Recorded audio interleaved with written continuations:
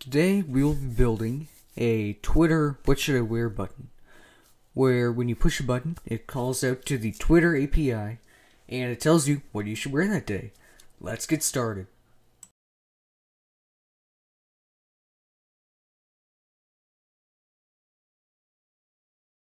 Okay, so what you'll need for making the circuit be one male jumper wire, an LED, another male to male jumper wire, push button tactile switch, pretty cheap, get them online, a pack of 100, two more short male to male jumper wires, and then one 10k ohm resistor.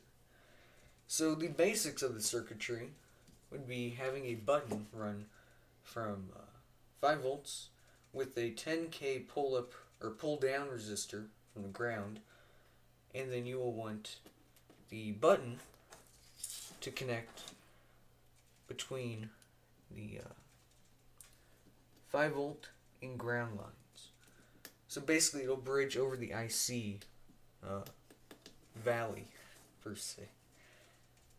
And then what we'll do is we'll connect the output which will go from right here, and that will go into a pin that you can later specify. Right now I'll want to have it on D5, so you'll want it to be right in there. So now what you'll want to do is have the LED going from ground, so make sure you have it on the anode part, or cathode part. You want it from ground and just put it anywhere where you have room. So, you know what, I'll put it right here. But for this, we'll also want to have a resistor with it. So that way we don't burn out the LED.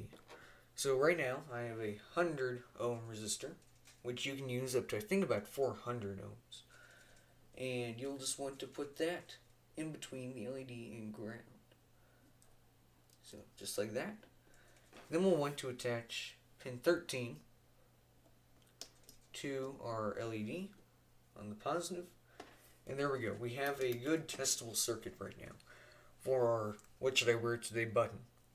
So when this button is pushed, we should be able to light up the blue LED. Let's try that now. I'm going to plug in. I already have the blank button sketch loaded up to it. So here it is, just initializing. And now we'll go and load the Arduino sketch into it. So let's go ahead and do this to pin 5, upload it. So we'll wait for it to compile. There we go. Uploading and done. So now let's test it out to make sure it works. When I push the button, LED lights up blue, which means we have a success. So this is now the basic button circuitry that we need Let's transfer this onto a breadboard and get an enclosure going, which I will then 3D print. So let's do that.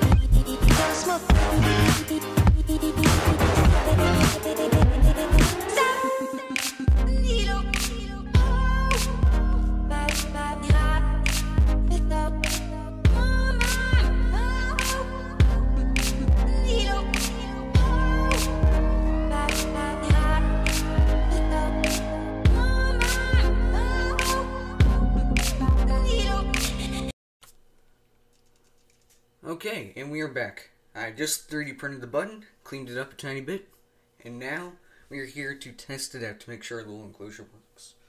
So here's what it looks like, all connected. You can see that the push button switch is in there. And I basically put hot glue around the edge of the top that you push on, so that way you can spring back and won't fall off.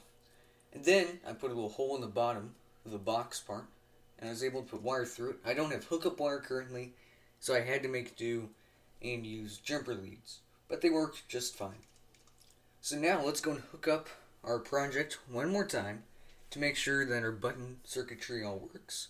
And if it does, we should be able to put this into a nice little enclosure and then test it on Twitter. So let's go ahead and plug this in. So go and let the LED initialize. So once it stops blinking, there we go. So now it's all ready. Let's go ahead and push the button. There we go. We see that the LED lit up and it sent out a message via serial. So I think that is it.